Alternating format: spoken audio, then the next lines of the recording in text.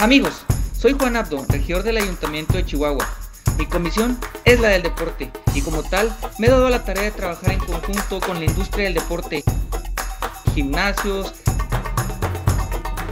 escuelas deportivas, clubes, todo esto para lograr la reactivación económica.